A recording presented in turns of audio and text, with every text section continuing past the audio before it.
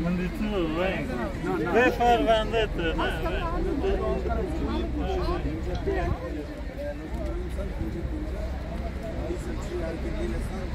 Gemeinsam Rojava verteidigt. Das türkische Militär hat am 9. Oktober seine lang angekündigte Invasion in Nordsyrien begonnen.